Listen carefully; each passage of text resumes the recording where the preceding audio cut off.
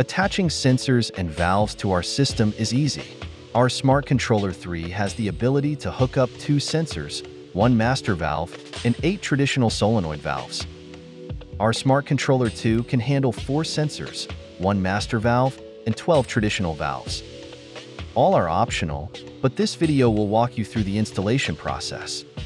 Remove the bottom plate of Controller 3. To wire, all you'll need is a screwdriver. Attach the main power line to the respective terminal. S1 and S2 are reserved for your rain or flow sensors and can be wired interchangeably. M is for your master valve, and terminals 1 through 8 are for the traditional valves. Then use any available common labeled with AC. Navigate to your app, tap More, and select System Setup. Now you can toggle on any of the sensors or valves you've wired. Just ensure you select the proper corresponding terminal.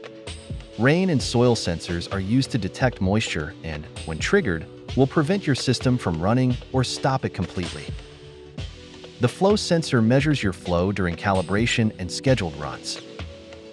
The master valve will open and close when the board gets a command to begin watering.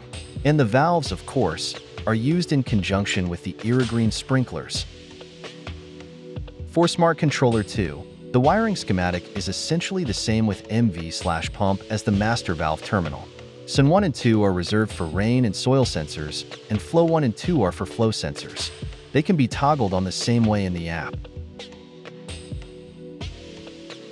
For more self-support help, visit support.irrigreen.com.